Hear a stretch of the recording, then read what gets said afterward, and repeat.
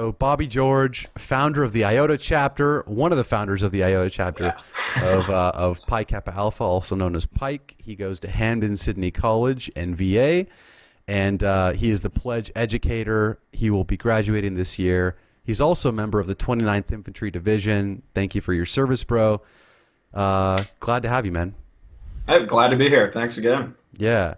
So, you know, one of the things we really wanted to get into in this podcast is is just learn more about Greek life. And there's mm-hmm. so much in the movies, uh, on TV, the documentaries we see about hazing and the alcohol-filled parties, and mm-hmm. uh, I mean, we've seen movies like Old School, for instance, where it's it's just like every person's dream to be in this like state of chaos and uh, you know surrounded by friends and booze.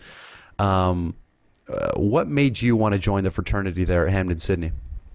So uh, I grew up with two parents that were both uh, Greek, that are both Greek rather. Uh, my father's a Sigma Chi, my mother's a Pi Beta Phi, and they're very, very loyal to their affiliations.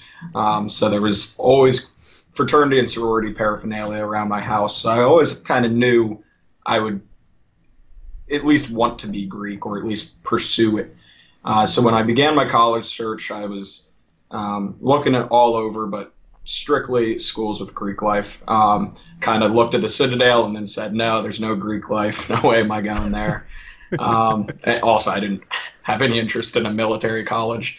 Um, right. Uh, as uh, but ultimate respect for the guys there. Um, and then when I got to college, I began rushing, and um, I was fortunate since I grew up in the um, realm. I knew that it was more than just a party, um, and I knew that Animal House. That's a great film, but there's obviously more to it. Um, but it's it's easy for that stereotype to fall in place because in right. college, students are going to drink, and um, Greek life tends to be the social hub. So it's what people know it for.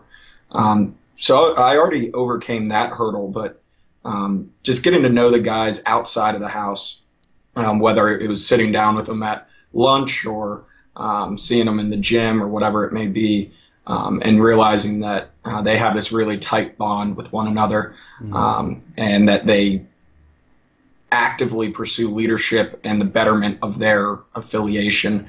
Uh, I thought it was something really neat. And then also just the history of Greek life. Um, it's a tradition that dates back to the 19th century. Um, men and women have been forming together and uh, bonding in these rituals, and I thought um, it would be really neat to witness that, be a part of uh, a living history. For sure. And you mentioned that your dad was actually a part of Greek life when he was back in school. Mm-hmm. Uh, so, what was the pressure like to join the fraternity he went to versus going to Pike Uh, very intense. so, so uh, he has three boys, and we all went Greek. Uh, none of us went to his house, um, and I and I'm the youngest, so I was his final hope. So um, the first time he came down to visit, he went to the Sigma Chi house and he just, oh, hey, hey, brothers, hey, brothers, this is my son, Bobby. He's a legacy and he's a Russian. Who's your Rush chairman? Bobby, go get his number. Bobby's a, a, good guy. And I was just like, oh, it was the most embarrassing thing. Yeah. Um, and then I remember I called my dad before I uh, began pledging. I was like, Dad, I, I think I'm going to pledge. And, and he asked with so much anticipation, like, all right, which house? And when he found out it wasn't his, he he just said, "All right, I'm happy you're in the system, but you didn't join the best." I was like, oh, "All right, yeah, Dad." Yeah, but, so a lot least, of pressure. But at least you're in Greek life, and he's cool with that, and that's yeah. Cool. um, he's come around to the idea. Yeah. Well, so I hear of this notion of the the lifetime commitment that when you join a fraternity, you know, you this is a brotherhood, and it isn't something mm-hmm. that just ends after four years in school. Uh, it goes well into the workforce and and uh, the alumni connections and uh, and stuff like that. Do you do you view it that way? Is it a lifetime commitment for you? I do, yeah. So so it the one of the best ways it was described to me is it's um, a lifelong commitment that begins in college. Uh, so as you're kind of forming into the adult you aspire to be uh, when you're first entering college and you're seeing uh, what you value and who you right. value uh, or whom rather um, you, you begin to um, form that commitment and then once you graduate i think it's even stronger you have the responsibility of ensuring that the younger guys are, are going to preserve it, that the younger guys are going to appreciate it and do the right thing. And there's alumni chapters, guys that uh, gather. Um, so, of, of course, the connections are a thing, but I think it's a lot more than that. I think it's just um, simple fellowship, uh, understanding that if a brother, no matter when he was a brother, um, approaches you, you treat him um, as a brother and you give him kind feeling and mm. uh, sympathize with him. And I think it's really neat when you see it. We just had initiation, and one of our brothers, his grandfather was a brother, class of 1959, Whoa. and he came to his initiation.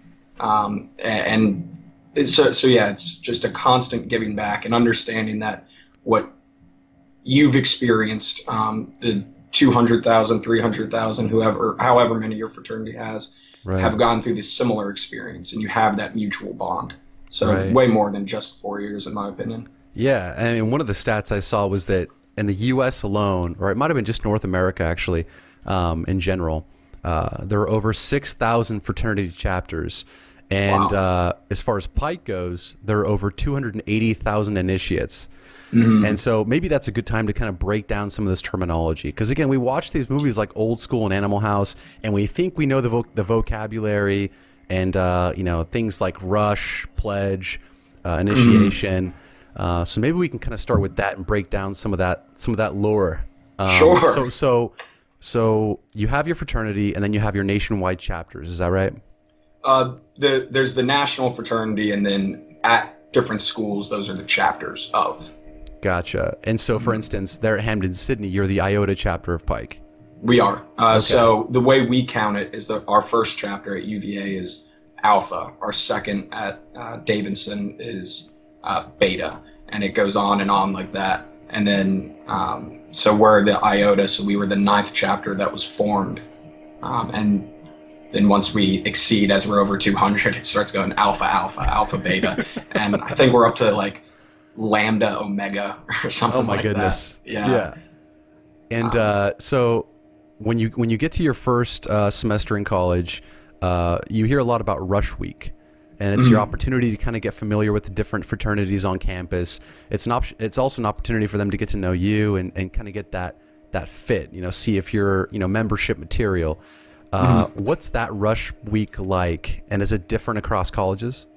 Uh, it is. So usually rush is determined by the college. Um, so most will do one week. Um, I've, I've seen some schools that have it very structured. On Monday, you go to this house. Tuesday afternoon, you go to this house. Um, at my college, it's one semester long. So first semester freshmen can't pledge. Um, and then they have to hit a certain GPA to be allowed to. Um, so it, since it's so long, it's a lot more informal.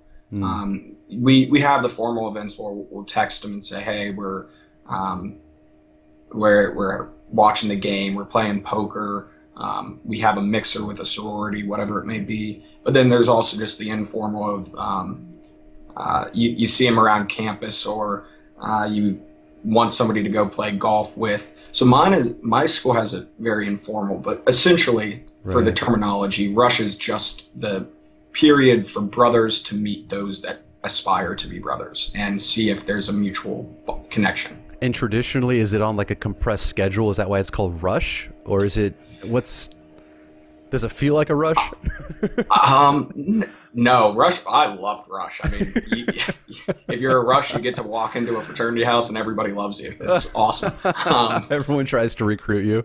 Yeah, everyone. That's all of a great. sudden, they're your best friend. So I loved rush. That's awesome. Um, my understanding of where the term came from, um, and this, so I'm in a debate society at my college, and yeah. uh, but of course things get lost in history and stories are yeah. told in the telephone game. So perhaps this is just um, my I just heard it and it's a conceited view, but apparently we began the rush process by my debate society um, because when freshmen would arrive, the society would, and this was in the 18th century, would uh, sprint and uh, just take guys and say, "All right, you're in our society now," and then have them debate. And we thus called it Rush, and then Greek Life stole it. Wow! I don't know so, if that. So, I don't so know they kind of true. assigned people. Yeah, I know for my debate society, the Yeah. Union Philanthropic. It's the oldest continual debate society in the country. Um, but it's um, so it used to be a graduation requirement from the college to be a member. Um, so right away, your first day, they'd split you up and try to get the rivalry started. But again, uh, I feel I feel like that was probably an idea in some guy's head in the 40s, and then Right. by now we we tell everybody, oh yeah, we we created Rush. we started it. Um, Yeah. So then you get to college, you do rush week, and it's that Mhm. process of getting to know the different fraternities and your different options. And I would imagine that for for a woman, sororities are the same way, right? Um, Um, I imagine. I go to an all male college, so it's a Well- sorority life I'm a little I mean- I mean, uh, unfamiliar with. well, that alone is interesting, right? So I think we'd mentioned in our last chat that uh, Hampden-Sydney is one of only three colleges that's all Mhm. male uh, across the country. So um, is is uh, is being a part of a of a brotherhood different uh, because of that? Um, I think so. So, like, since we're all male, we kind of have the brotherhood of the college. So, Greek life here, when I've compared to when I've visited other chapters or gone to see friends at different schools, um, it's a lot more just an extension of the brotherhood. So, Gotcha. um, like a, a brother from Theta Chi or um, Kappa Sig is always welcome to walk into our house and hang out and, and we and we talk and we or, or somebody that's not affiliated with Greek life at all. Um, we kind of have that. All right, we're we're brothers in one way or another. But I've noticed when I've go, gone to other schools, like the, fraternities don't interact, and this is only some chapters, some schools, that, but they don't interact. Or if you're uh, non-affiliated, affiliated, you don't go to fraternities. Um, so it's really uh, interesting. I think being on Yeah. all male college just offers um, a secondary brotherhood. Gotcha. So I, I actually didn't know that. So there might be rivalries among the fraternities themselves, depending on which one you belong to or not. I, yeah, I think they're all mostly friendly. Gotcha. Um, okay. Like we'll we'll do like a football game and it gets pretty intense, but then we're all laughing about it later. Um, so yeah, little rivalries here and there, Have- nothing vicious. Have you ever seen someone join a fraternity or at least be initiated and then jump ship to another one? Does that happen? Um, I don't know of any fraternities that allow previous initiates of a Greek social fraternity as members. Gotcha. Um, okay. So I know that we don't allow it. So if you've been in another fraternity, you can't, uh, or Greek social fraternity. Gotcha. Um, and I can't think of any that do allow it. Gotcha. So, well, I think it says something about their commitment, right? Like, you know, Yeah. they, they joined a fraternity, you know, they pledge commitment, and then they just drop out. Um, So I'd imagine that that's probably not the ideal candidate um, for your for your organization. But uh, Mhm. so you know, kind of building on this whole process. So you get to school, you do rush week, and then you know, here come the bid cards. The process of inviting folks to be a pledge in that Mm-hmm. fraternity. What's what's that process like? And kind of walk us through your experience of being a pledge. Okay. Um, so, so yeah, the, the bid is the offer, and that's determined. Uh, each house will have their own uh, system. We do. If two guys say no, uh, then the person doesn't get a bid. Um, so it has to be pr- pretty unanimous in order to get a bid. Uh, and we'll bring the guys up, and we have slideshows, and everybody um, will share their opinions. Say, I like the kid because of this, and then, oh, I'm worried about this, and there's kind of some cross debate, and then we vote.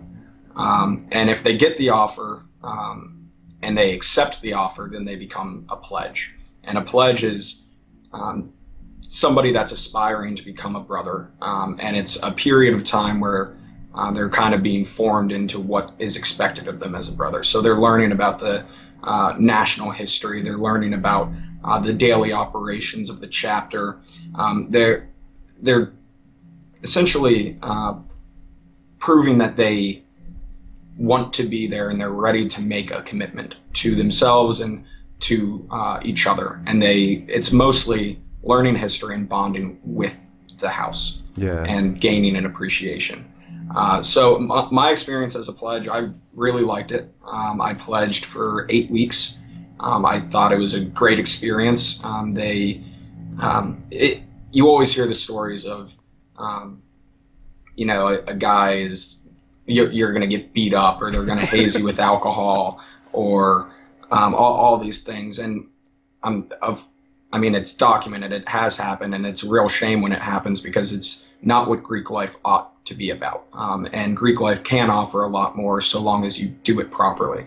So my experience, I um, woke up every day at 7.30 and i would eat breakfast with my pledge brothers um, and we'd have dinner together every day we studied for a minimum of three hours every day um, we would be cleaning the house and the like but that was just time for us to be with each other and we, we were learning and it was a really good busy stressful time but um, i don't regret a minute of it most of the movies seem to focus on this pledge period right when mm-hmm. they're going through this trial period of, of trying to to show their commitment and devotion to the organization. They go through these different tests. And sometimes, you know, you'll see people dress up in costumes, yeah, do funny and quirky things. Like I think women in sororities will sing or mm-hmm. do door chants and stuff like that. Uh, any kind of funny stories you can kind of look back on? Any any funny situations you were you were put in? Did you sing? Uh, oh yeah, oh I sang. My my buddy, my buddy, my pledge brother Noah Frazier and I uh, whenever the pledge, whenever the brothers wanted, we had to sing uh, Biz "Just a Friend," and and we would jump up on the bar and start singing it, and um, we we had to give dances to sorority girls, and um, so so like that with, with all like the beneficial stuff. There's also like really silly stuff that at the time when you're a pledge, you're like, why am I doing this? This is the dumbest thing. Why am I um, carrying around a piece of wood. Um, we always have a plank, um, or, or uh, from Ed, Edd n Eddy, or, or, or all this stuff. But then you realize, like, especially now I'm a senior, and uh, whenever Just a Friend comes on, I'm running over to my buddy and we're bonding, hanging out, laughing about it.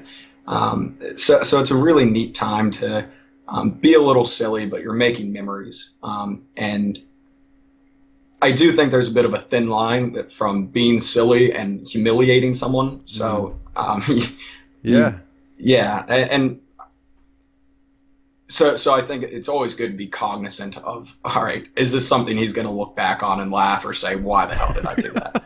um, and I, am happy to say there's nothing I um, I look back and refuse that I ever did. Um, but a lot a lot of silly fun memories.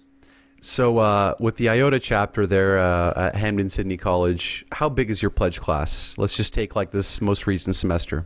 Uh, the most recent, we had eight guys. So eight we guys. Okay. we keep it pretty small. Um, okay. Yeah. And uh, of these eight people, just historically, do most end up, you know, being initiated? Is there a second vote that happens at the end of this pledge period?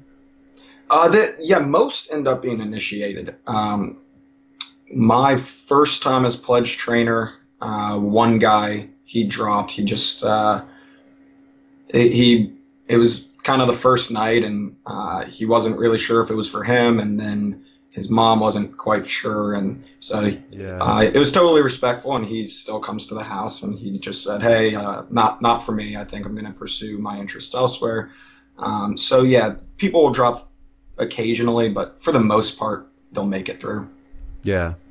Um, and as pledge educator, what's your role in that whole process? Do you, or do you serve as sort of the chapter historian in terms of the going all the way back to the 1800s at the establishment of this organization at your at your school, or, or what's your role in that process?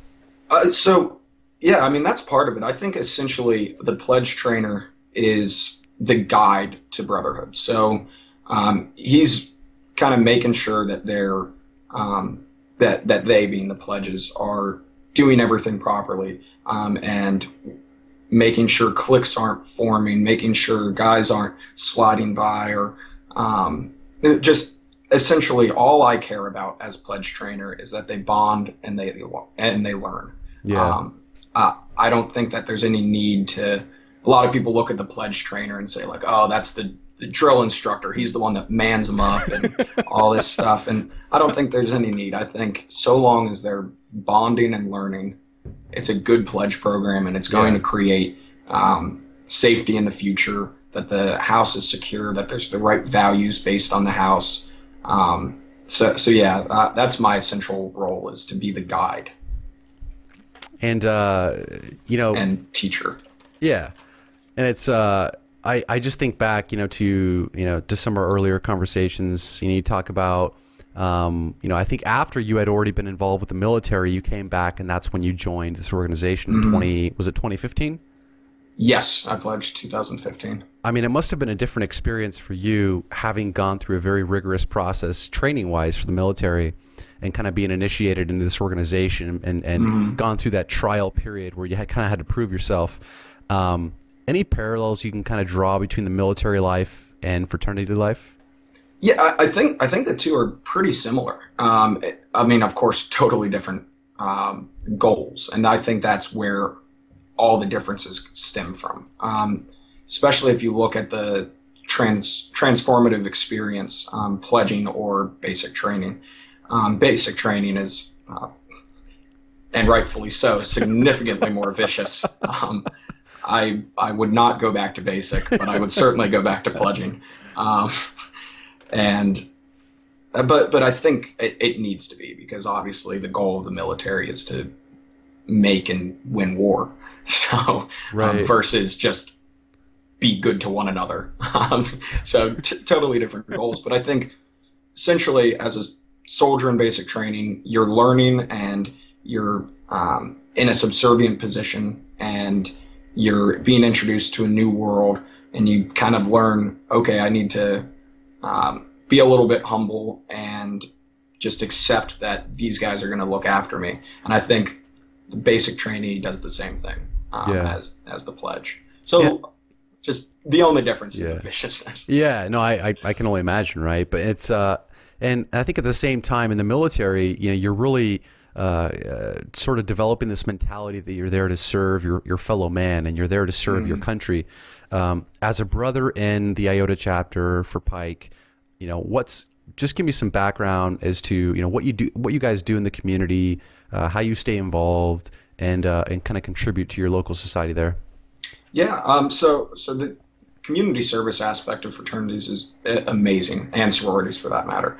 Um, so a few things that we do. Uh, we have what's called Faces. It's a food pantry here in town. So uh, on weekends, we'll um, not every weekend, uh, to be totally honest. I, I don't I don't want to. Um, I don't think anyone would expect you to do it every weekend. Yeah. yeah. Um, but but occasion probably once a month or so we we go and we will invite a sorority and we'll have a little mixer early in the morning um, and just uh, give out food. We also have adopt a highway that uh, will go and we'll clean up, make sure that uh, the the road is um, preserved and the like, uh, and that the nature's clean. Um, and then there's also even larger scales than that. If it's something as simple as a, a do- donations and raising money for a cause, or this past year with um, all the weather in Texas, we sent a brother down to help Yeah. give out some food and clothes. So I, I think it's really neat, and the national fraternity always has opportunities, um, and th- there's a lot of good that comes from it. And that was one of the things I did as a pledge, and that I have the pledges do, um, so that they can learn um, empathy or sympathy rather, sympathy and um, care for their community, and kind of see that um, right now things aren't so bad, and they can always help out. Um, so uh, yeah, the community service is a fantastic aspect of Greek life. Well, you know, I, I just think back to the beginning of this whole notion of the fraternity and what it was what it was meant to do and meant to be, which was to serve those social, academic, and professional interests and those communal interests of its members and where they are. Uh, has that drifted at all over the last, you know, several years? Uh, you know, with this kind of glamorization of, of the partying and the booze, or or does it just come back to what college you're at and which chapter you're with? Um, I think that's certainly part of it, and also what time you're with it. Because I mean, one chapter could be uh, great in the early 2000s, but students are only here for four four years, so a house can change very quickly. Um, so they can come back in 2010 and all of a sudden totally different house. Uh, hopefully Right. not, but it can happen. Um, so in terms of the founders, I mean, most fraternities were founded in the 19th century um, mid 1800s typically. Um, excuse me. And um, I, it, like, if you look at um, a lot of the foundings, they were literary societies, uh, guys that met and read poetry or um, studied together and and things like this. So I think that the notion that they kind of became these social secret organizations and most have left the literary behind uh, is um, certainly a change. Um, and those like Pike that formed simply on the basis of fellowship, um, I, I, think certainly there is uh, there is that fellowship, but I do think that debauchery uh, has hindered the mission of Greek social fraternities, uh, and not not to say um, you're a bad brother if you're gonna.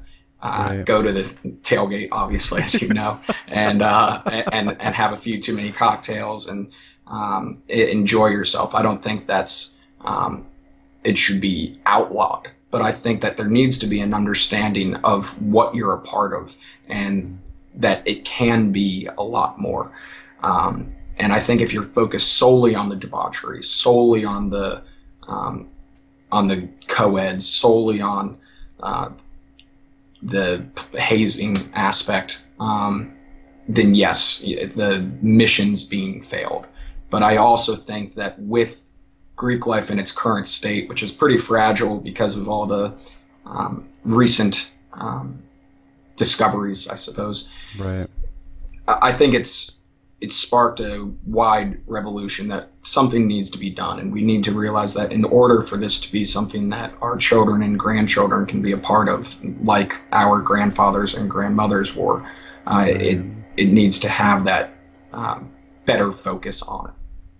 Yeah, and, and, and you're absolutely right as far as those recent discoveries and what's been kind of happening around campuses across the country. Um, we, we've talked about, you know, Timothy Piazza at Penn mm-hmm. State. You know, last year he was a 19 year old sophomore, went to a pledge event, and, uh, you know, unfortunately died from several injuries sustained during that event. Fell yeah. down the stairs. Nobody called an ambulance to help him.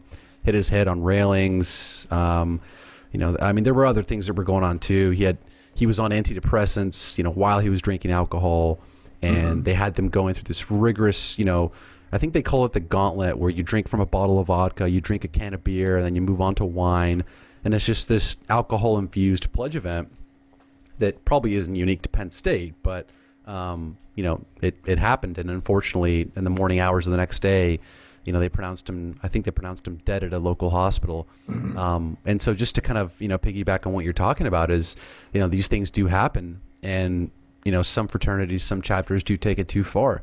Um, you know, it, it it sucks, and and you know, for a few reasons that you mm-hmm. know, uh, it highlights you know fraternities as being this like you know club of debauchery and and place where people just go to, you know, have unprotected sex and you know to, to engage in underage drinking when it's not the case mm-hmm. for every single fraternity out there. But unfortunately, it paints that brush, right? Especially when it's on CBS and ABC across the yeah. across the nation. Um, so so I hear you there, and uh, and and and those incidents, you know, are unfortunate. But I think it's it's pretty awesome, man, that you can kind of sit here and um, and we can have this discussion mm-hmm. of of those unfortunate events and uh, and and what does happen across the country. So, um, kudos to you, man. You know, for kind of being open to that discussion. You know, I I know that just in my brief research on this subject, there are a lot of chapters out there who who frown upon committing uh, to interviews like this and talking about Greek life and going public with it. Um, so it's pretty cool that, that you can kind of sit in that chair and, and have this discussion, man. So I, you know, I appreciate that. And I, I guess to, to, to kind of wrap up, you know, that, that piece of it is, have you met anyone in Greek life who, you know, uh, has gone against kind of speaking about it publicly? Um, I, I think, I, I think a lot of times it's not, not that, um, the discussion shouldn't happen. I think I think it's very important to happen. Um, and although yes, I think um, the cases like at Penn State um, aren't as widespread. At least I hope they aren't.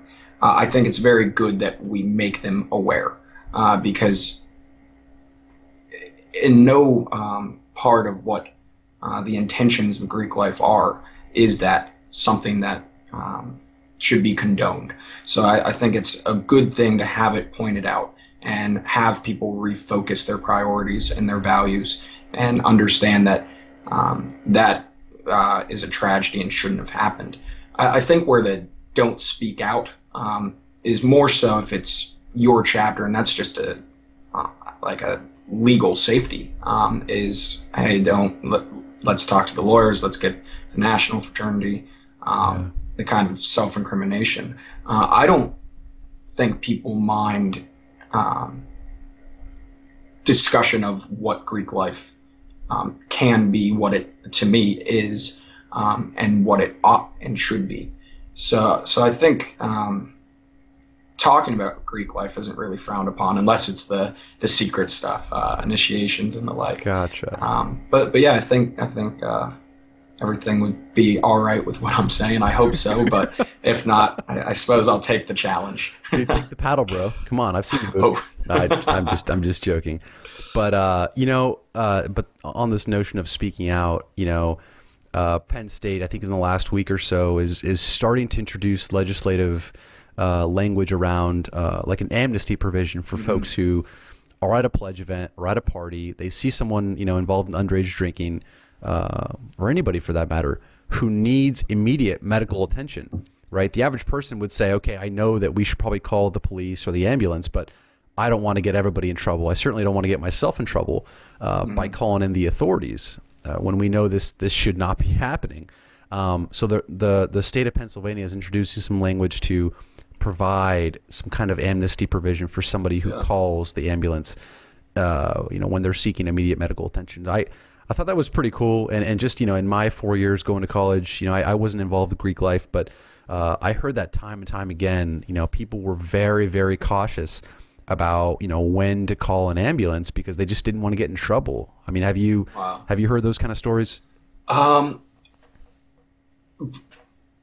so I'm also a member of the student court, and uh, the student court at Hampden-Sydney tries all um, violations of honor and code of conduct. And one of the things of code of conduct is um, alcohol abuse, uh, specifically if you're underage. And but we do have a medical amnesty um, and to my knowledge, at least in my existence, it's always been there. So I haven't really seen a fear.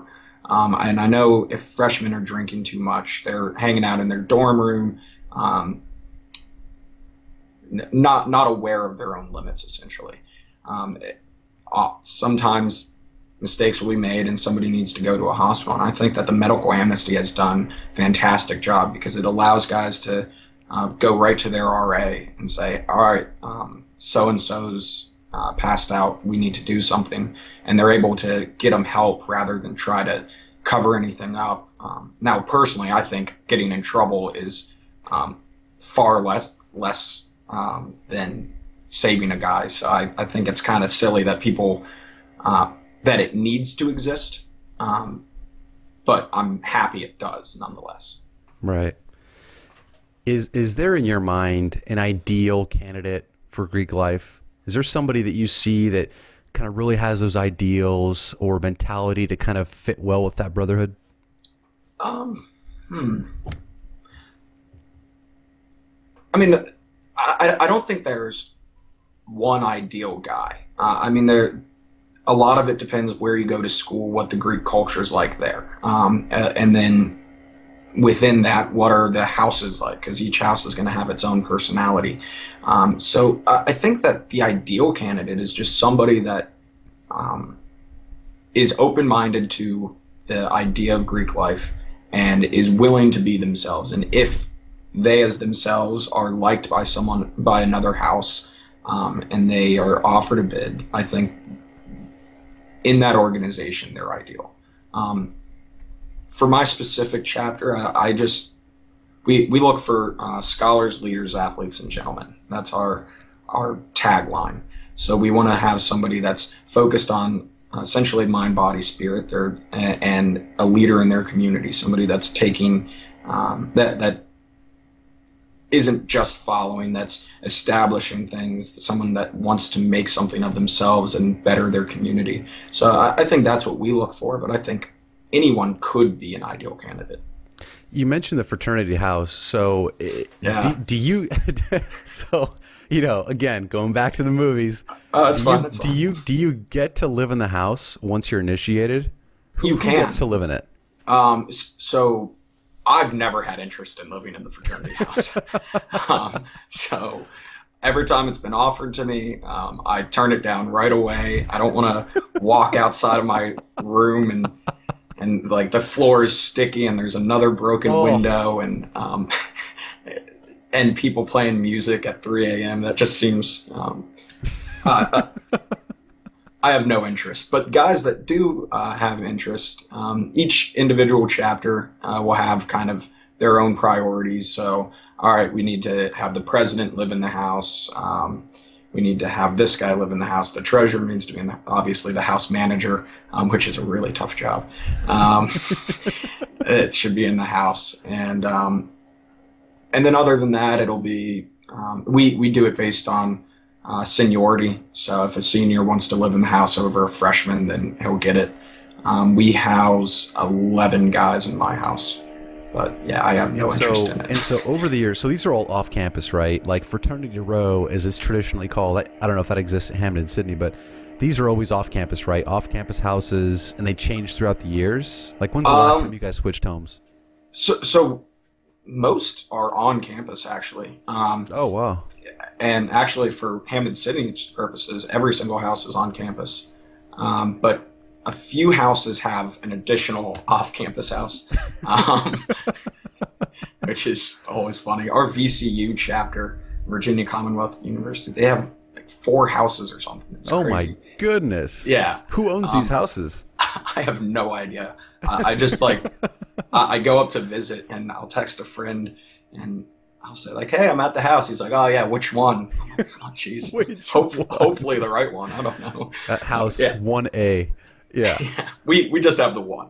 Yeah. Um, But uh, And Oh, yeah, so, so the and last so, and time- so, and so, yeah, yeah. I'm curious, like how often you you you you know transition homes. I'm curious. mm, so we um we've been in the same home since 1992. It had a renovation in 2001. Um, I hope I have those dates right. I should have them right. Uh, so we've had five houses throughout our history, um, and fraternities, um, and that that kind of goes back to a previous question. Um, fraternities haven't always had houses. Um, the first fraternity was Chi Phi uh, in 1824, and it wasn't until 18, I want to say 57, that Beta Theta Pi um, got the idea that oh hey we should live together. Um, and that was at Hampden-Sydney, and um, all of a sudden they had a house, and everyone in North North America was like, "Oh yeah, that's a good idea. We'll get houses too." And now it's kind of the stereotype because it, it is amazing. We have pretty humble houses here because it's a small college, but if you go to a like a large D1 school, it, it's absurd that the houses are sometimes bigger than the academic buildings, and I don't know where they're getting it, but um, it's it's really neat the the houses, but ours is pretty modest. And uh, and as a member, do you contribute like uh, semester dues or annual dues towards that house and towards the organization? And do you have to pay more if you decide to live in the house? How, how does that work out? Uh, yeah, so there's um, semester dues, um, and it varies from chapter to chapter based on the chapter's needs and um, and what the guys collectively agree upon.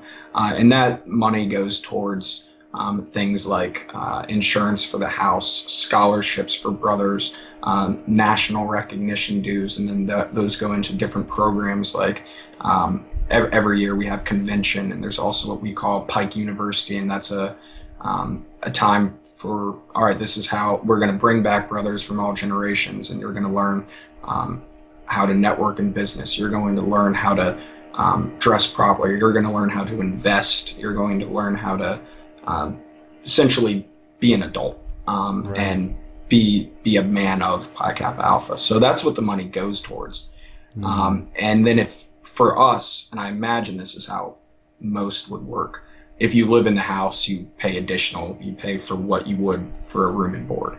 Um, Gotcha. Yeah. That makes sense. And you Mhm. know, I- just historically speaking, I, I have heard of, of a lot of chapters who do have houses, you know, on or off campus that they carry a lot of insurance, you know, because you know your floor might fall out or uh, you know. That happened to us. There, there was so so. Tell me about that experience. How the hell does that happen? So so we have um, we have our house, and then uh, there's what's called the bunker, and we have a deck, and it's it's great. We'll put um, a band on the deck, and people hang out on the deck, and the bunkers kind of like a glorified garage um, uh, with finished walls and everything, but it has cement um, floors and well now all cement. Uh, we had one section that was wood, and below it was uh, in the basement lived a brother.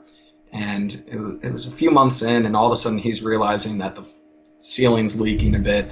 So he puts up some buckets, and we we were doing just um, as as odd and um, impromptu uh, fixing that we could throughout the semester. And then all of a sudden we come in, and the floors collapsed, and it's it's now in the guy's room. And we said, well, we need to fix this. Um, fortunately, the um, the college, well, in this case, fortunate. Sometimes it's unfortunate, but the college owns our house, um, so they were able to get us a new floor over winter break, and we came back and um, our house was repaired. so, but how it happened, I don't know. I imagine just decades of uh, uh, of people jumping, people uh, spilling things. I, I mean, um, do you guys have like a, yeah. a, a, step a step group? Is that is that is that part of Pike? Is that a... It's not part of us. No, but, uh, a few a few fraternities have that, but no, we don't. We don't have any um, stomp teams or marching bands. What'd you do this weekend? Oh, I just had to repair a floor that fell out of my house. You know, just uh, too much standing on it. Um, too much standing. Yeah, maybe that was it. We just stood too long. um, you know, one of the things I always think about is, uh, you know, because it is it is the most kind of glamorized uh, portion of this whole you know Greek life is mm-hmm. is the initiation, the pledging. Um, you know, I, I had read somewhere that you know there's a breaking down of a person's individual flaws to kind of build them back up as part of a stronger group, stronger team. Um, drawing back on your kind of military experience, is that what is that what you saw in the military, and is that what you saw, at least in these few years that you've been in Greek life? I think the military, without a doubt, um, and be because you you go in and you it's a completely new world. You there's customs that you don't know. There's um, you you're told how to walk, how to eat, uh, how to read time. Um, there's rank structure, so it's totally new. So they need to um, just get a clean slate, and they do that through um, a lot of very creative means. Um, to to put it a little mysteriously, um, and I think Greek life you have to learn a little bit of the culture, but it's not too difficult to grasp. It's not an entire new world. Um, so, so I don't think there's as much of a need. Um, and I don't, uh, at least again, I'd hope. I, I know in my experiences, um, but it's it's not so much. All right, you don't know this. We're going to punish you. We're going to um, yell at you. You're going to uh, you're going to pay for this. It's a lot more of um, kind of a, a development. Okay, hey, this is why you need to do this. You've got this wrong. We're going to fix it, and this is how we're going to fix it. We're going to work with each other. You're going to and one thing I love to do as pledge trainer, when um, whenever there's one guy that's not grasping a concept, if he doesn't, uh, if he can't remember the preamble or um, know why we were founded, I'll pair him up with um, one of his pledge brothers that he's not too close with, and I'll say, "All right, the two of you, you're going to study together, and you're going to come back tomorrow morning, and you'll know it and know why." And. Um, so, so yeah, I think there's a lot of um, the same camaraderie, but very different paths to get there. Yeah. No, I mean, just piggybacking on that, I was surprised uh, of of how many hours you poured into study hall Mm-hmm. Uh, I think when you were when you were at pledge uh, with with Pike, um, and I think you had mentioned uh, in one of our chats at one point that your grades actually went up yeah. during your pledge period, which I thought was just baffling. I would have never thought your grades would have improved during no, that. Nor period. did I, but but yeah, my um, at until this past semester, it was my highest GPA I've ever had at the college was when I was pledging, and I think it's because that we were so busy all the time. You're always doing something pledging. And those three, we do minimum of three hours uh, a day. So those three hours I was in study hall, I knew nobody could bother me. I would get some alone time. I could, I could just sit there and study. And if I was studying, I was good. And so I, I would look forward to study hall every day. So I was like, yep, can't I can't clean the house. I got to read Tocqueville. so, you know, yeah. th- this, this all really goes back to you know why why join Greek life in the beginning or in the first place.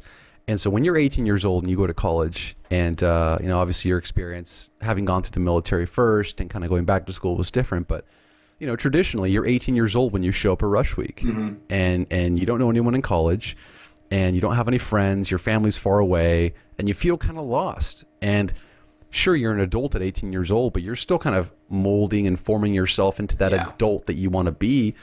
Um, and uh, you, you, still have a lot of room for, for improvement and for growth. And so I think one of the main reasons that I, I, I seem to think people join Greek life is to, you know, have, have, you know, that mentorship and that camaraderie to help them get from A to B um, yeah. And and you know, it's just kind of funny how people reflect on their pledge periods about how it's some of the best and worst times of their lives.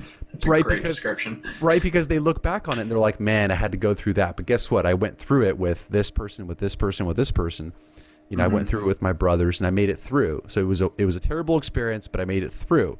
Mm-hmm. So it's like, okay, well, any other challenge or any sort of obstacle you face moving forward, it's you know you, you you carry that mentality of no matter how hard it is no matter how bad it hurts you can make it through and, and, and jump over that hurdle yeah. so I, I think you're you're very impressionable i think at that age at 18 years old mm-hmm. um, and you know certainly one of the one of the knocks that i've heard on greek life is well why would i you know go to college and pay dues to have friends and it's like well hey you know i mean like what is it that you want right? Do, do you want to be surrounded by people you can count on and people who will be there if you need them? You know, is, is that what you're looking for in your life? Are you looking for structure? Are you looking for, again, mentorship and guidance? If it's not, you know, or if you already have it, then maybe Greek life isn't for you.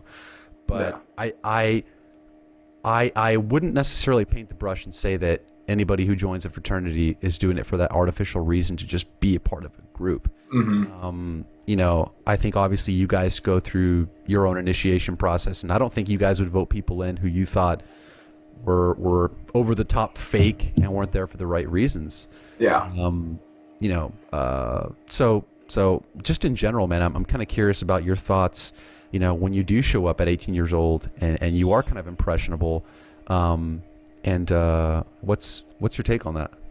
Yeah, so I, I think it's a I think everyone should at least, if they're um, at a college with Greek life, um, at least be open minded to it and say, all right, I'll, I'll go to the rush. I mean, worst case, um, I I come out and I still don't want to be a part of it, and that that's fine. I I, I don't um, I don't think it's bad to not join Greek life. Um, I, I have really enjoyed the experience, and I think it should be something you look at. Kind of like running with bulls. Like that's you, right. No, yeah, right. like if, if you run, that's that's awesome, and if you get yeah. enjoyment from it, that that's great. Um, but if you don't run, you don't run. Um, and so, um, in in terms of the pain for friends, that's always the common criticism for Greek life. Um, and, and to that, I say it's yes, there are dues, but I can't think of an organization I'm a part of um, that there aren't dues. Um, if uh, perhaps a religious organization, but and then even even so, it's not like you were paying the chapter directly. Then I could understand it being a little odd if you were saying, yeah. Um, "All right, I'm giving a um, a hundred dollars." um, to you as my brother, and that's and now you're my brother. That would absolutely, I think, would be bizarre and um, worthy of criticism. But the, what the money goes towards is toward the future. It goes toward the development of your guys. It's it's a further commitment um, to each other, and I think that's what it's about. It's not um, paying for friends, but it's paying for the security of future fellowship. Uh, the dues I pay now is going to help um, the generation uh, that's next and going to help them have the experiences I've had. So I very happily pay dues um, and, and, the like, and I've, I have friends in and out of my Greek organization. Um, but yeah, I think 18, it's an impressionable age, and I think it's a good time to, um, go into something a little blind. I think one of the best things that a young adult can do is step out of his or her comfort zone and be willing to um, do something different, do something that makes them uncomfortable. Um, because I think that's where um, true true learning begins and true appreciation. And I think it's often the person that wasn't sure about Greek life or the guy that hadn't really seen anything but the movies and then came. I think I think a lot of times that person tends to be um, a really good contribution um, be, because they in the army to bring it back to military. Yeah. Some of the best shots. Um, I'm an infantryman, so it's all about weaponry. Um, some of the best shots out there are guys that never touched a weapon before because the drill sergeants are able to say, all right, this is exactly what you do, and they instantly don't have any bad habits. Um, compared to yeah, compared to the guy that grew up shooting, he may be used to putting his elbow out or something, and trying to change what's natural for him is really difficult. So I think a lot of times the the unsure candidate tends to be a good guy. Yeah. No, my uh, my family tried to get me to play the accordion one time, and uh, uh, uh, apparently I, I, I, I didn't have any previous bad habits, but I just I just sucked. So so that's where it ended, man. So you won't see me playing accordion anytime soon in Pamplona. Um, no, dude, that's, That'd be quite a sight. jump jump with the street bands and play accordion. but but I haven't tried to do it drunk or on, on red wine, so maybe it'll be somewhat different if I if I'm juiced up. Um, have a cognac on chocolat and then Yes. jump in. dude, imagine? Oh my gosh, dude. Yeah, I'd, I'd be tackled right away. Um, but no, I, I, I think I think it's interesting this this whole notion of Greek life. Uh, I, I think there is meaning to it. I think again, it's just uh, it depends on what school you go to, which chapter you join. Yeah. Um, maybe even who's in who's in it at the time, right? Because somebody's only in school for an average of four years, so you Yeah. have this constant cycle of people Mhm. flowing in and out of the organization. So um, it's just very specific uh, to your time. But uh, if if you had to give like a 30 second to 60 second pitch for folks to join Pike, the IOTA chapter, Hampden-Sydney, Oh, what would you, the 30 seconds, self-proclaimed I wrote it. historian, or dude, if it takes longer than 30 to 60 seconds, I'll just So, my wine. and go for self-proclaimed it, yeah. historian and house Yeah. surgeon. Um, And, and house surgeon. Oh, dude, I gotta ask you about that. All right, but really quickly, your pitch. What's your pitch? All right, I'm 18 years old, dude. you're I, 18 uh, years old. I'm leaving home, dude. I can't grow any facial hair yet. Uh, I love my mama. Oh, in that I case, always you're love my mama. Um, how do you get me to join? How how do you attract? How do you attract me? Uh, I I, th- I think one of the best ways, and what I try to do as a brother, is um, talk to them outside of the house when, because obviously at the house you're going to be um, drinking. There's going to be um, co-eds and um, there's going to be loud music, and I don't think you can really have a good conversation. So what I like to do is go down uh, if they're um, eating lunch or something.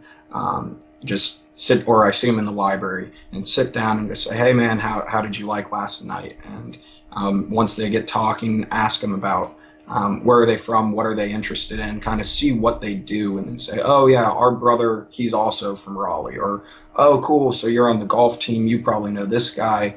Um, yeah, I pledged with him, what whatever, and then making that mutual connection. That way, um, they understand um, that they can bond with the brothers, and that um, just because they're brothers, they aren't unapproachable, and they can go up and talk, and it can be a very comfortable position. So, so yeah, if you were 18, I would just want to know about you and uh, try to form some familiarity.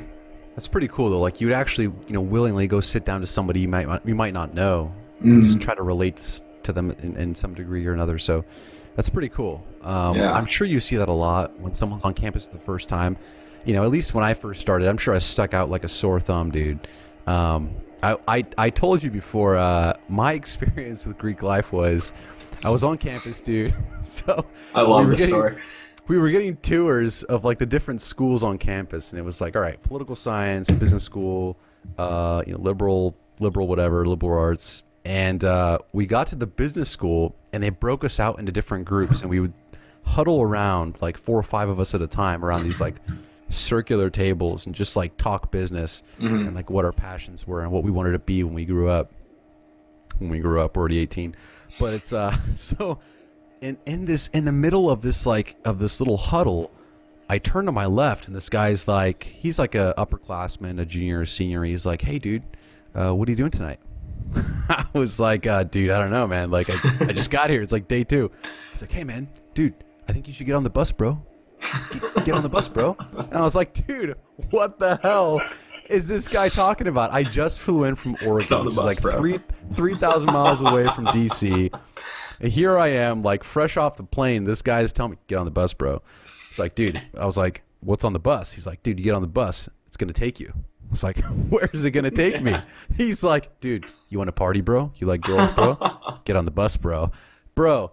And that for me was my introduction to American University's Greek life system. And it goes back to what we were saying, man. Like it just depends on what school you go to, which chapter you're with. But I that was dude, after that I was like, I'm good. But Yeah. in the conversations I've had with you, if I if I, for example, was at Hampden-Sydney, I think I would have been a little bit more open to uh, to that experience, um, and and maybe Pike in, in particular. So, um, Hope. yeah, Well, it's never too late. Uh, Seth Rogen became a brother of Pike last year. no Colonel way. Sanders did as an adult. Yeah, you. dude. It's not just serious? for. Yeah, it can be done at any age. Like you join as like a faculty, or like what do you join as? Yeah, some people, uh, some faculty will join. Um, they usually skip the pledge process. Um, although I have heard rumor that Beta Theta Pi at my college. I don't know if it's true. Um, as we we gossip a lot, um, and stories evolve over time. But um, I I heard that back in the '80s, a professor pledged a fraternity on campus. No like that- way. Yeah, uh, during the '80s, things are, um, uh, to, Oh, dude, to my understanding, a lot more. Yeah, it was goes. Animal House. Yeah. So apparently, they would like go to his class and just start yelling at him, and and he was just like, "Oh, yeah, yes, brother." And, and I would just love to be in a classroom with a professor and have some other students come in and start yelling at him. Oh, that is great. I have no idea if that's true, but I, I think it, I would love for it to be. What is this? A B minus? Drop down to give me twenty. Drop down. oh, dude, Uh. just just have them clean up the house. You know, all the chores. Yeah. Dude, one of the things I wanted to do, I I was so impressed by the chants and the songs that your chapter has. And I would imagine that some of these get passed down from like the national fraternity of, of Pike. yeah. But but in some instances you create your own, right? Uh, we we have one chant, yeah, Dude. but the, so- the rest are national songs. So I, like I told you, man, for this one chant alone, Mm-hmm. I I would join the fraternity. like just to sing it or chant it once, I would join, dude. And so I, I got it here, man. Dude, I don't know how we should do this. So we we talked about in the lyrics of this chant, there are some asterisks. Yeah. Should I just should I just avoid the asterisks and just say what's what's in writing? Probably best, yeah. Okay, okay, we'll, we'll, we'll keep it clean. Maybe in right. Pamplona I'll reveal Yes. that, that Oh. that's not a secret, but I, I Okay. it's something I didn't want, and it was in the book I wrote. I, um, I, I didn't want to be in writing with my name for all of eternity, and I think it's probably best if, uh, for for the sake of this podcast, we do the same. I like it. I like it. All right, here we go. So I will read this uh, what's called the Iota chant. I was born on a mountain. I was raised by a bear. I've got a double set of teeth. I've got a triple coat of hair. I've got a and a I'm a I'm a pica by God. Dude, I I would join just for that chant, dude.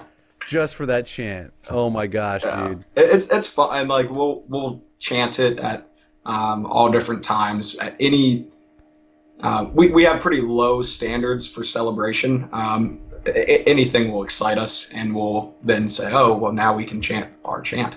Um, but but on a more um, overreaching, I, I think that songs have a really great way of bringing people together Mm. um, and uh, chance as well. I think it's um, for la- I guess it, it's it's a primitive um, connection to sing together, um, and uh, so yeah, I, I really like the chants and I, the fraternity songs, and we serenade our dream girl every year. So I, I think it's really neat um, to have things like that in um, a Greek organization or any organization or Pamplona for that matter. Yeah. Well, what's cool is like you know when you graduate, you can go back in ten or fifteen years, and when you hear these lyrics, you hear these chants, like you you know you're a part of it. You know, Yeah.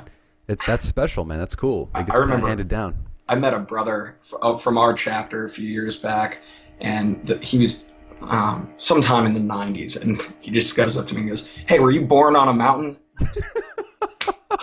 I certainly was. Hell yeah, yeah, it was awesome. It was awesome. dude. So now that you mentioned Dream Girl, I, I Mhm. have to know a little bit more about this. Sure. What is the Dream Girl? Does does the person change every year? How did that get started? Yeah, so um, the so Pi Kappa Alpha uh, nationally, and every chapter has one, and we also have a national Dream Girl. Um, elects one girl um, to be the Dream Girl. Uh, most fraternities call this the Sweetheart. Um, we're the only ones that say Dream Girl, to my knowledge. Um, and the Sweetheart of a fraternity is simply a a girl that the brothers um, feel embodies the values of the fraternity, and they truly value her. Um, as a sister. She's not initiated, at least um, not Pi Kappa Alpha Dream Girl is not initiated, but certainly celebrated and appreciated. Um, and they they do little things like uh, looking out looking out for us, making sure that we're being uh, good representations of the national fraternity, but also um, they'll help us set up tailgates. They'll help us uh, formulate uh, mixers. They'll help um, ju- just kind of um, take care of us in general and care for us as we would care for her. Um, and it, it's a really great uh, friendship amongst the Dream Girl in the house. Uh, and the way it started, um, I think nationally, the first Sweetheart was SAE, Sigma Alpha Epsilon, and they were formed 1850 something. I forget exactly when, but some before the Civil War. Um, they were antebellum, and during the Civil War, there was a again. This is what I've heard. I I can't Yeah. uh, cite it, um, so it may may or may not be true. But during the Civil War, there was a legitimate fear that um, every brother would die, and Wow. if every brother dies, then their ritual um, and their um, organization wouldn't be able to continue because there's no male to pass it on. So they had elected one female and brought her into the brotherhood and said, if that's the case, please pass on um, what we have. Um, and then I think other fraternities started seeing this um, relationship. So the way we elect is um, it's a pretty deliberative process. It's um, it's very much like bid ball for um, one to become a pledge, and there's a lot of argument over who we have. Um, and do the girls get really competitive with it? Like, do they want to be the Dream Girl? Yes. Um, in fact, and we're right now we have Maddie. She's fantastic, um, and uh, she's a sophomore at um, Yeah. one of the local colleges, and um, so we'll probably keep her until she's a senior. There's no reason to um, mess with what's a good thing, and she's a fantastic dream girl. We're very um, happy to have her, but there is one girl, um, and that is trying to she she's going to everybody like hey vote me for dream girl I, i'll be the best dream girl and we all just no you won't you can't do that and and oddly enough she has a boyfriend in another fraternity but she wants to be our dream girl and I, I keep on telling her there are multiple reasons Oh. that I don't like this. But she's so, so that's the most competitive I've seen it. Um, but yeah, the brothers compete. It's usually a brother's girlfriend um, that we all really care about. Okay. Um, so so usually she's she's happens to be dating somebody or or or connects usually. with somebody. Okay. yeah, Yeah. um, I can't think of when it hasn't been that. But then again, I've only been around for two Dream Girls. yeah. Um, Allie and Maddie. I think it's pretty cool, dude. Allie's gorgeous. Uh, you know, um, let's see. I'm flipping through the, some of the historicals here. Oh, So there's an image tied to each each dream girl. Um, gosh, it's it's an unfortunate I can't show this on the podcast. Um, dude, Allie, yeah, Allie was beautiful. Um, yeah, she's great. was it was it is it Doogie Dargan from '74? Doogie Yeah, Dargan, Dougie. Dougie. Whew, she's cute. She's cute. Yeah. Um, so so but, but yeah, like one of the things that so Allie, for instance, when I was Yeah. writing uh, the little booklet you're uh, looking at. Um, I I reached out to her and I said, "Hey, I'm writing this Dream Girl section. Do you think this sums it up?" Um, and she, even though she's now graduated, she instantly because the the Dream Girl is much like the brother. It's a lifelong thing. There, you'll always be the Dream Girl. Um, and she she was like, "Oh yeah, um, send me the book. I'll I'll send back some edits." And was helping me um, in the formulation of me uh, writing the book. Um, so, so I think that that was really neat to see. But that's just like one of the uh, many things that a dream girl will do. That is awesome. So yeah. even though they're not initiated, they're always kind of connected and and yeah, there for the fraternity. That's pretty neat, man. Yeah, it's really neat. Um, would my, you ever would you ever bring in a dream girl who's a member of a sorority? Oh yeah, they usually that, are. Oh okay okay um, okay. Usually, I wasn't sure if that was common. Yeah. Yeah, that that's because it's um, kind of like that understanding of okay, you you're in the Greek system, you know what this is about. Um, yeah. But um, yeah, so it usually is. Dude, I'm gonna I'm gonna try because it looks like you have uh, a song in here for the Dream Girl. Can I read that out? Is that cool? Uh, sure. Yeah, that that's all public record. You can find them online and the yeah recordings of our chorus doing it. So everything that's in this in the book I wrote is public knowledge. No okay, secrets, so, so that was that was in this, except right. for the asterisks. That's actually the only time I censored the book. Which have been uh, ever so appropriately highlighted with asterisks. Um, so yeah, I wasn't sure. That was one big thing I, I didn't want to kind of put on blast. But is that okay if I show the cover real quick? Or, or yeah, sure. Yeah. yeah. So basically, here's the cover of the uh, uh, history and guide to the Brotherhood in the Iota chapter of Pike. This is written uh, by Mr. Bobby George, and I'm sure I'm sure you went through an extensive process to gather the research and findings mm-hmm. and uh, reach out to people for, for different photographs and, and, historical pieces. But this is awesome, man. How long did it take you to actually write this?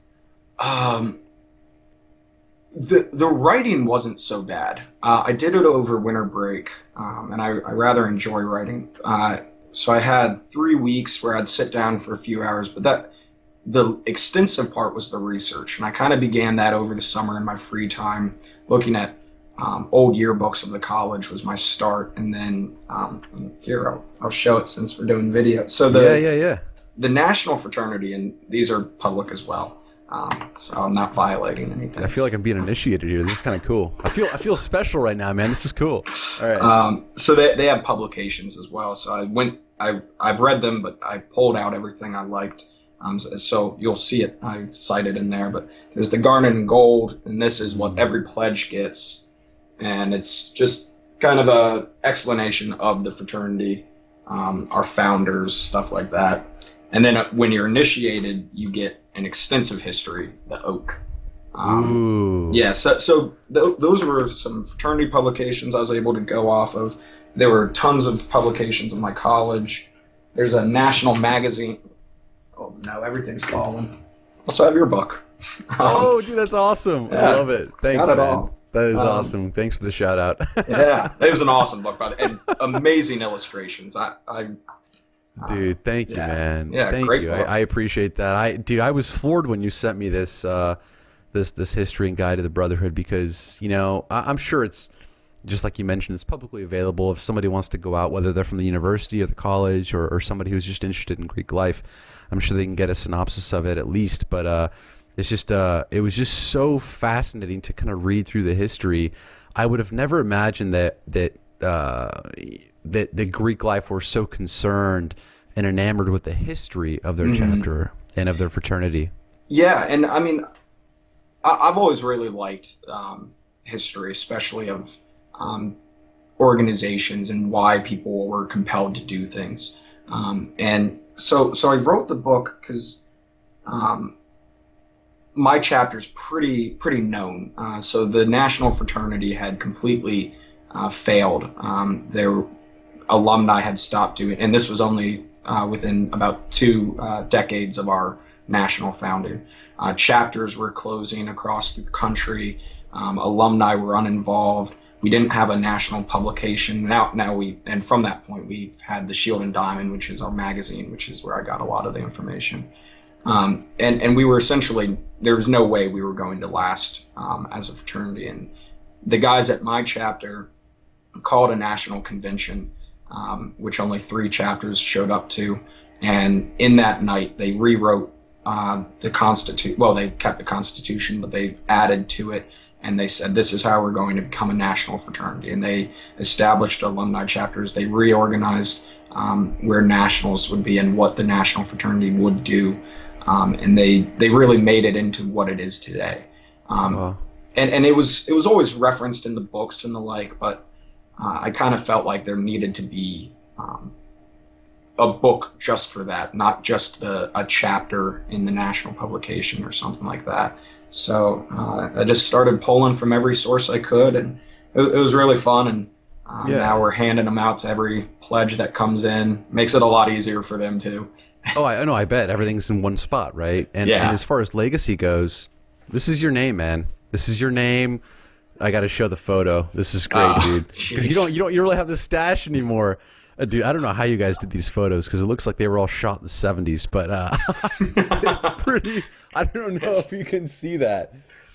Can you guys see that? I don't know if you can see that. Uh, it's a little tough to see, but yeah, I uh, I, I thought I thought it'd be funny um, since I was a pledge educator, and you know, it's always fun to look at the old photos of the guys. And I thought, oh, I should have a mustache.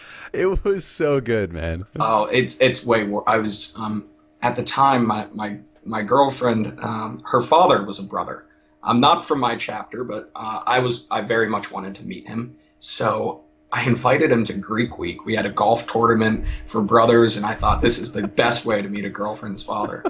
Um, and it, it was he was fantastic. But composite photos were two days afterwards, so I had to keep the mustache. And Oh my I felt goodness. so I was so embarrassed just going up and saying, "Hi, hi, sir, nice to meet you." And I have this huge mustache on my face. but I mean, now now I have a photo. So I, I kind of feel like you have to bring that back. I think we talked about this. You got to bring it back to Pamplona. I think I might. I'm. I'm You I'm should think about it. Yeah. At least roll a dice, like you know. Maybe I'll Um, blend in a little bit more. Yeah. No, dude. Uh, this this guide is awesome. I'm glad that it's available for folks to kind of digest. Uh, whether you're a pledge or somebody just interested in learning more about Greek life. Uh, and dude, yeah. Before we close the the book, literally, um, on on the on the guide here, Mhm. I gotta flip back to this Dream Girl song. I gotta go back. Oh, sure. What page is that on? Uh, I don't know. Let's see. Uh, I think it's towards the end. That'll be page thirty. Ah, got it.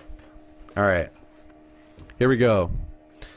So this is called the Dream Girl of Pi Kappa Alpha. The Dream Girl of Pi Kappa Alpha is the Dream Girl. Is the Dream son of a Girl, bitch. it's This is what tough. happens, ladies and gentlemen, when uh when when you're like two thirds of the bottle down. Is that on, a- uh, Is that a matador on the front? No. Okay. I thought that. I thought that was. It looked. It looked like a bowl, and I really can't tell. I don't know. It looks like a. oh, it looks like an angel now. Yeah, yeah, I think it's Okay. yeah, it's an angel. Uh, this is uh, Javier San Pedro. It's white wine from Rioja. It's it's really good. I I'm not usually a white wine drinker, but I saw it at a store recently, and I saw it. I thought, you know, what the hell? But oh, dude, what do you got? That looks better than what I'm drinking. Um, I'm actually re- really into it recently. Um, so Dave Matthews. Um, if you, uh, I'm a huge fan of Dave Hell Matthews. yeah. Band. Um, Matthews band. he's he's awesome, and he has his own uh, vineyard in Charlottesville, Whoa. not too far from me, and uh, it's called the Dreaming Tree, which is Oh, one of my favorite songs of his. And Yeah. every single bottle is named after one of his songs. Um, so this is Crush, um, which is the California Red that I've been I've been getting a lot. It's really good, and I'm typically uh, I typically like whites and not not so much reds. So we're a little Oh, swapped, really? Yeah, This is a great great wine. So I've been having this. Um, I gotta try that. Is that is that available to to, to purchase at like a Trader Joe's? Or oh like yeah, I get it at store? Food Lion. Okay. Um, so so yeah, you can. Yeah. Uh, and yeah, it's actually a really great bottle. I bought it at first just because it was Dave Matthews, and I thought, Dude, he's yeah, so good, man. Dude, I don't know about you, but like all those '90s jams, like uh, by the Oh. Goo Goo Dolls and like Matchbox Twenty. Oh, they're Oh, so yeah, good. dude. whenever I'm driving, uh, I'll just go go onto Pandora and do like Blink 182 or like grunge, and it, it's the best music to just sit and drive to. like, I love it, dude. Yeah. Dude, I'm gonna I'm gonna try this again. Oh I'm yeah, gonna sorry, try this sorry, again. we keep getting distracted. No, no, no, no. This is this is this is all good. I, I I'm sure I'll still screw it up, dude. This is what happens when you're drinking Rioja, dude. This is uh. all right, here we go. This is called the Dream Girl of Pi Kappa Alpha. The dream girl of Pi Kappa Alpha is the dream girl I'll always adore. She's enchanting as starlight, and oh how I long to be the lucky one boy to whom she'll belong. The dream girl of Pi Kappa Alpha is the ideal of all that I love. We put our hearts in the game, but whose heart will she claim? Will the Pi Kappa Alpha dream girl be mine? And that is it. That's it. Dude, that is that is freaking brilliant. I love it. I'm Yeah. serious, man. I, I would join just for for these songs. But that chant is I gotta do the chant again. I was born on a mountain, I was raised by a bear. I've got a double set of teeth, I got a triple coat of hair. I've got a and a I'm a I'm a pocket by God. I really want to sound out those asterisks, but I can't. And, and Pamplona, I'll, I'll And Pa- keep yeah, dude, in Pamplona, dude, you should, dude, you gotta own that in Pamplona.